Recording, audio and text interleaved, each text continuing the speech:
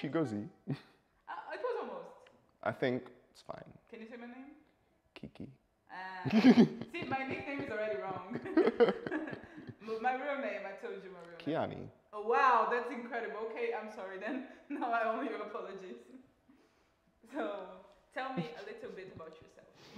I'm Chigozie, but you can call me Cozy, like the Beyonce song. Uh, I'm 22 years old from the Lord's year of 2000. Uh, I'm Dutch, Nigerian, Indonesian. I've been living in Amsterdam for five years now. And yeah, I, I'm like a digital nerd kind of. So I study communication multimedia and stuff and data analytics. So what's the image that you want people to have from you? Mm, I think I would like people to think he's like nice and warm and loving and like caring, but also kind of like a smart bitch. Mm, okay, what's your star sign? I'm a Gemini. of course, of course I am. like that, that shines on you. I was not hiding it. of the room, I was like, mm, that's a Gemini. All 22 of us walk into the room at the same time every year. Like, you know, it's like Cerebrus, I grow a new head. it's a Greek tragedy.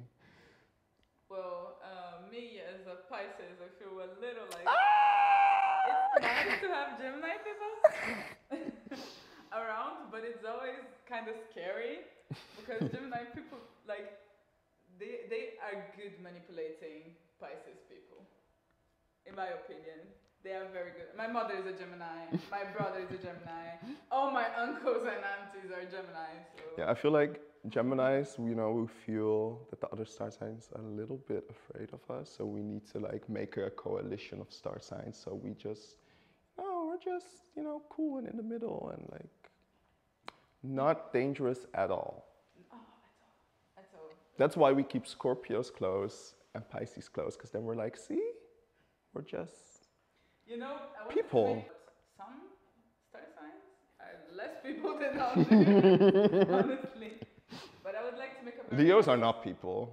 So what? Leos are not people. Honestly, like. And is they don't think they're people. They think they are sons of oh, God. Of huh? course, of course, there is Leo, but he's behind the camera this time at least. He is Jesus reincarnated.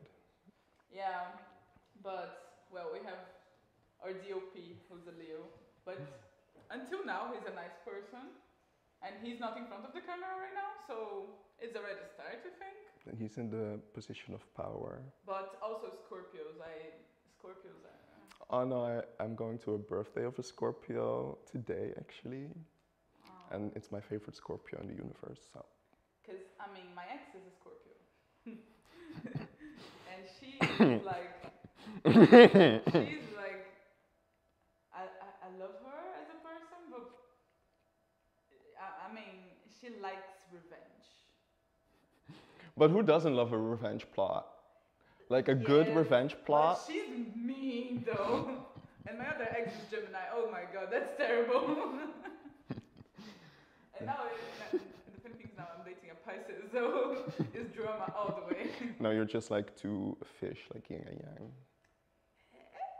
if it was like You know, like Avatar in the in the moon. Never mind. I'm just going to. Like, So I would like to make a comment. I would like to say that Emmanuel, the host of the other show, did my makeup today, and I would like to thank him for making me look like a Brazilian meme. Alright. See the face. Wait, let me listen. Let's start with the questions, though. So first of all, I would like to ask you if you had to choose an animal, mm. which animal would it be? To be or to have or To to, eat? To be. Okay. I would like to be a hippo today. Today. Yeah. But not always. Like a Nile horse, you know. Yeah, but not always. I'm a Gemini. I, I want to be something else every day. Honestly. You know, sometimes I feel like an ostrich, often I feel like a peacock, So today you're feeling like a Nile horse, yeah, like a hippopotamus. okay, okay. Deadly but what cute. makes it okay? Deadly but cute. Yeah, they are actually kind of cute. It's, it's Like you want to pet them, but if you do, you better say You know. goodbye to your hand. Can I ask the question back to you? Yes. What animal would you want to be today? I love that we have two interviewers today. I would be for sure a bird because I like the idea of flying wherever I want, I want and when it's cold in a country, just leave it. And today you could turn into a bird with beautiful feathers.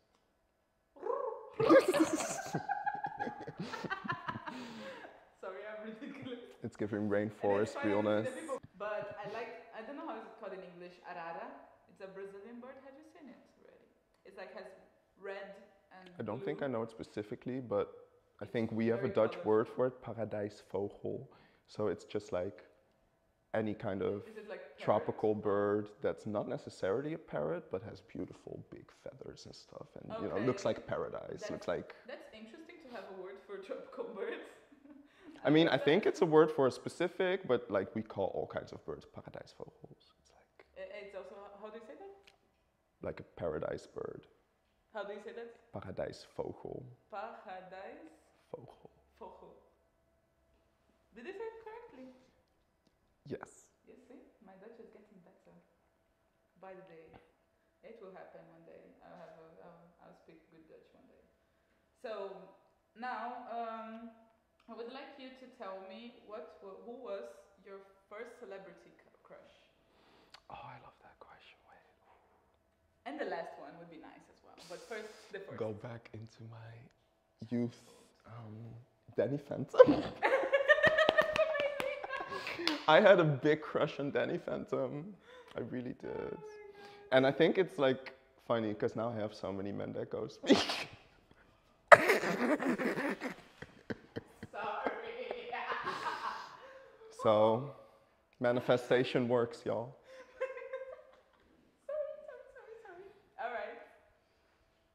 All right. Did that answer your question? It was a good. Answer. It was definitely a good answer. It's not the last crush I had on a cartoon either. So Uh, honestly, I kind of understand. I liked the um, uh, when I was like kid. I think like I had a few characters crushes as well. But now celebrity, like human. beings, celebrity, human, flesh and blood. Recent, oldest. the first one. Okay, okay, okay.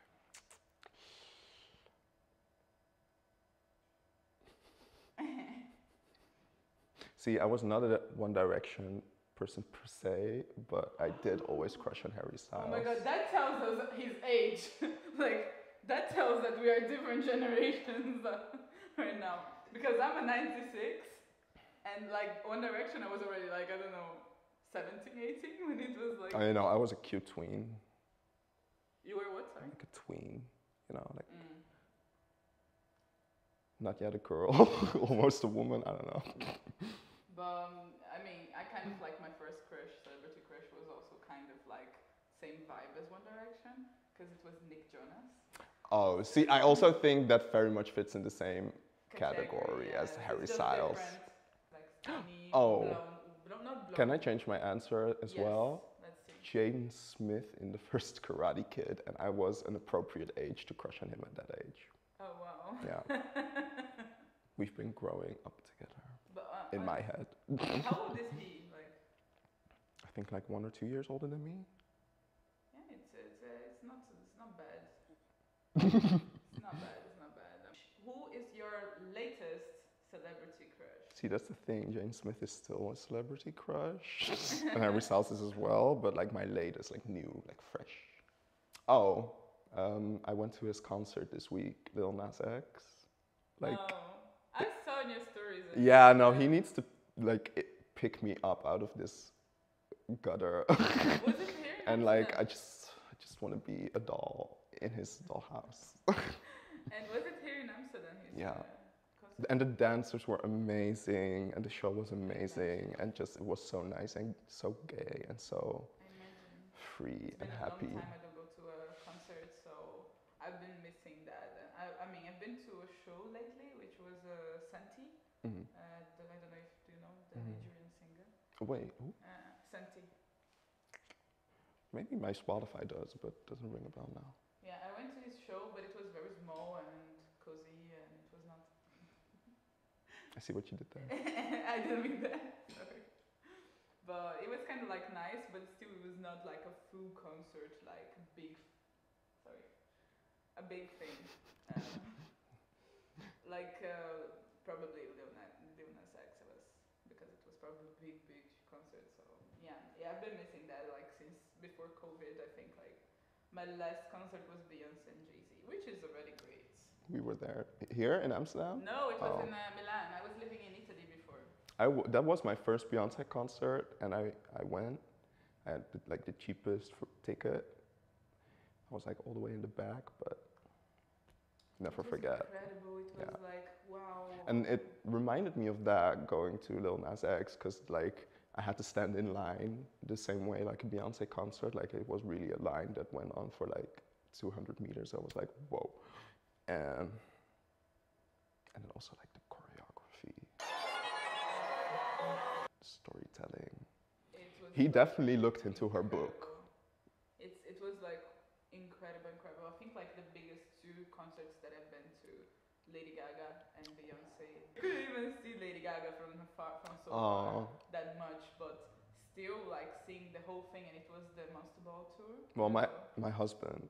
Uh, uh, he did that very well. Like even in the back, you could really oh, see husband, the show. Like he really made sure Okay, Lil, all of us were able to enjoy. Lil Nas the show X together. or Frank Ocean? Because I go for Frank Ocean, honestly.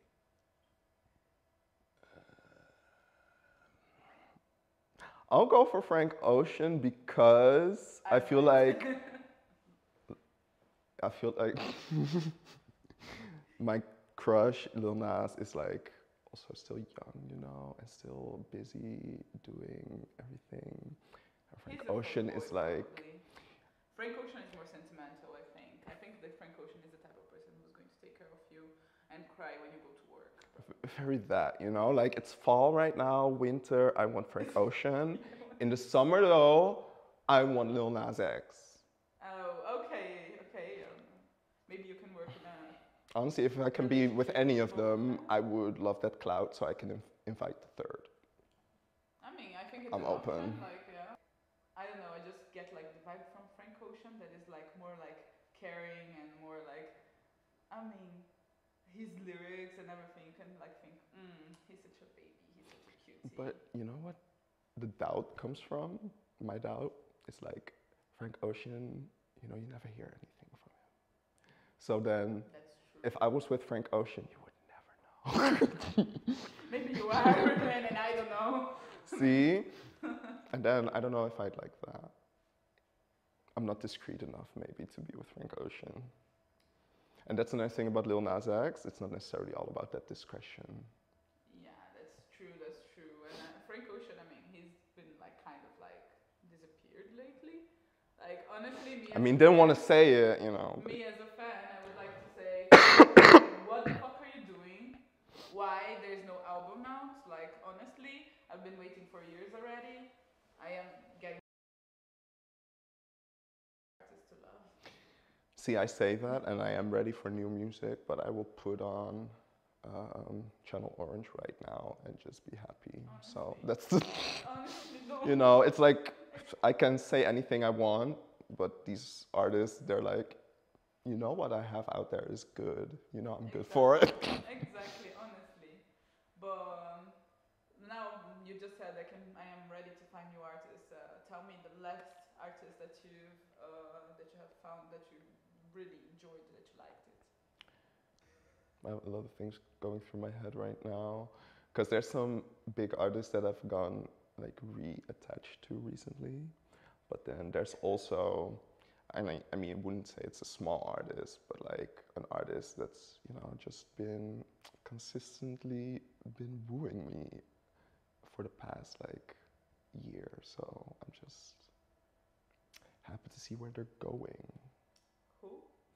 Um, like CK and just um, Sampa the Great, like just never. There's like they're not huge, but they're like African artists that are definitely like they have their lane and I, they never disappoint. Like my body will always react to their tunes. Um, but then I've also been getting reattached to Taylor Swift right recently. See, I don't. sorry, look, Taylor can't come to the phone right now. Why? Oh, because she's dead. Look what you make me do. See, and that was the last time I was also like, that's already a while ago, right? yeah, That yeah, song, that era. And No, that song I actually understood like why people liked her a little bit. I was into that. The Romeo and Juliet. See, and that, like, when I was that age, like a baby, that. like, it's a love story. I mean, So, you know, like, she's was- just consistent. She's been there. She puts out stuff. It's not always my gig, but it's not. When I was like. I respect the grind. Yeah, okay, I get that. When I was that age, I used to imagine like myself listening to that song. I was to imagine myself like going to the what's it called the night that the kids go in high school in the United States. Like prom. Like prom, yes, dressed to prom. And my country, we do not have these like what the hell, I've know? never been to prom. It's a movie thing, so it's like oh the American dream to actually be in a prom and be well dressed in a beautiful gown and like with a beautiful guy by your side. Which most likely wouldn't be, be, be me in high school because I was kind of a loser in high school. But now I'm here, a little princess Winning, for you guys. Thriving. But I actually wanted to mention one more artist. It's a Dutch artist, and she was um, also our send-in for Eurovision last year S10. Um, I think she's excellent. I think she's great. I think she's so good at what she does, and she just had a new album. So listened to that a lot. Mm, I never heard, but I will look for it. I mean, we have it recorded, so. I have another question. What's your type? I don't believe in types. Honestly, Well- me neither, because I mean, my crush was Nick Jonas and Akon. See, you know, like types. I, I believe in types, you know, plural. Like, I think a person definitely has patterns, you know, like, Yeah. you know, I, I'm, I'm a person.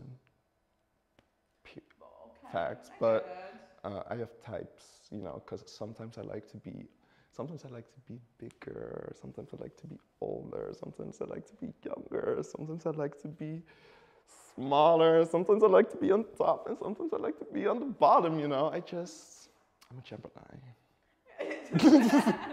you know, when you don't have it, when you don't know what to say, you just say that you are a Gemini. you, you blame it on your star sign. Obviously. I mean, but uh, you should see my you should see my chart, girl. It speaks for itself. it's it's a mess. Same though.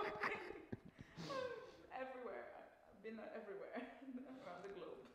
but I definitely have a weakness for like, you know, tall, skinny guys with brown hair and brown eyes, and that goes across, you know, Yeah. the ethnicities. Yeah. I get that. I mean, I understand the part of being tall because it's definitely a plus in my opinion as well. And I don't know, like I also think that I do not have a type, but if you actually look, even like there was one Asian, one European, one African in my whole like dating story. If you actually look, they are all like brown eyes, brown hair, curly, coily hair. None of them have like straight hair. None of them are blonde. None of them have green eyes or blue eyes. So there is a little pattern, even if it's so different. Choose a famous person to crash into your party. It's not like okay, this Sure. famous person. Sure to comedian. Hello, Emmanuel. This Hello.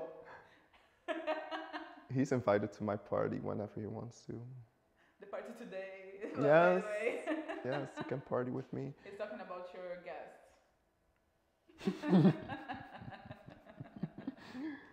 Um, yeah, no, I love a funny man. Yeah. He loves Mm. a funny man. But like other celebrities, like oh, um, Stormzy needs to crush my party. yeah, it's, actually, it's more not like okay. I want him to, and I'm counting on it. It's not like I want this person to crash into my party because I like this person, but because this person has a nice vibe to be in my party. Yeah, exactly. I think Stormzy will be like so, like he will crash the party. he will probably bring expensive booze just to say like, oh, you know, I didn't call ahead, but I'm here. And he, will just, you know, and he will bring the party as well. You know, everyone will of course be like, oh my God, he's so kind. It's Stormzy's. Oh my God, wow. And like, then he can perform and then ah, we can hug and like, I don't know, like share, share a pint or something. And like, ah, it will be the best memory of my life. Again, just like this big man with brown eyes. I want him to crash my party and it will literally be the best experience. Okay, I get that. Um, I will have food there for him. oh, you, but you I will cook. he's coming to the party. You will cook when he gets there. I will, yes and yes. What do you like to cook? What would you cook for him? Um, if like if I knew that Stormzy was going to crash my party, I would definitely like have a big pan of my homemade jollof ready. Oh, okay. Sounds good. Yeah, just as a reserve. Yeah, sounds good. Sounds tasty. What do you like to cook in general? In general life, what type of foods do you like to cook? Like you go for like, okay, I'm gonna cook this. All kinds of stuff. All kinds of stuff. I like cooking, but definitely as a student, I'm like a pasta culinary expert. Pasta is like the easy. No, but see, I like to make it hard for myself when I'm making pasta. Like Yeah, it needs to be a the thing. challenge. The thing, like you need to understand my side.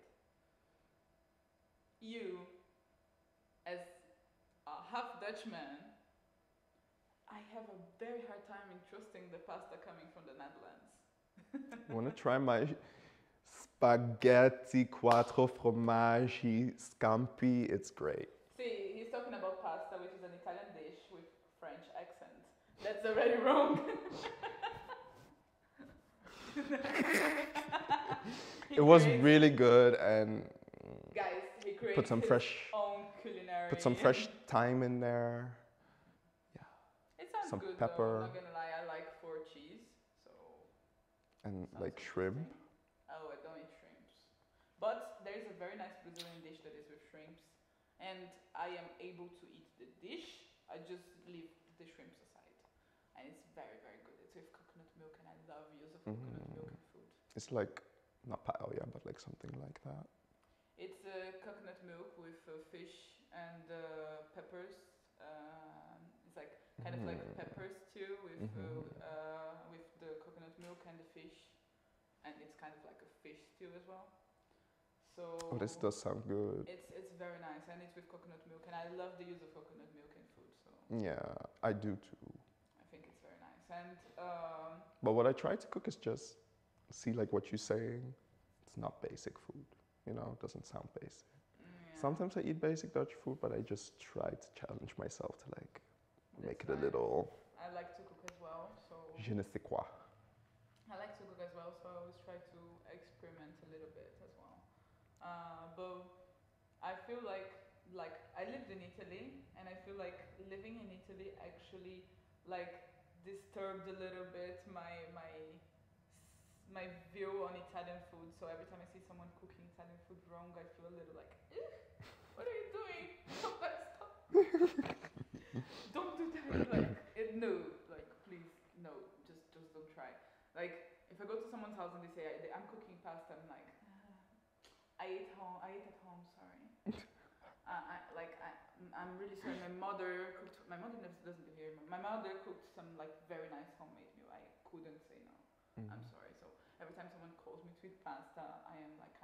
of concerned. But that was Italy because before Italy, I was not like that about pasta. It's just Italians made that food everywhere. So they just do this to me. They just did this to me. I think. I was reintroduced into maybe like tofu, but like making it well, making it good, making it like tasty and crunchy, and like I didn't know how to do that. Someone teach me. Now I feel like wow, I I mean I have never actually tried good it's nice. If I'm being honest, so maybe one one day you can teach me. I would love to learn that. Okay, and Just for- talking about food. Yes. and the next thing that I would like to do with you is to talk Uh, I need you to give me wrong answers. Okay. So you not say the right thing on what you actually do. I just need wrong answers. Wrong answers only. Wrong answers only. Wrong answers only. So uh, first thing is, how do you Mhm. open your door? With my left foot. How do you do that? Well, like, I have great balance. I'm a skater. Oh, so next uh, question: How do you make the bus stop? Is wrong answers too. Um, well, with your ass in the street, of course. So you put your ass to the street side, you know, so the bus is coming from here. And like, you know, I do that. This is just tea. Okay, that's perfect. I think that's that's that's a good way to, to do it. And how do you tie your shoelaces? I don't. Yeah, but I can see they are they are tied. I haven't tied these shoelaces in more than half a year. I just put my foot in the shoe. Oh. That's not that's not really a wrong answer. Work smarter, not harder, I'm ladies. take it. it's not the best wrong answer, but it's okay. I'll take it. It's a truthful wrong answer. Give me a very very toxic um, Mm, yeah, no, I can do that. I can do that. toxic advice in relationships. Your best one. How should I treat my boyfriend? Mm.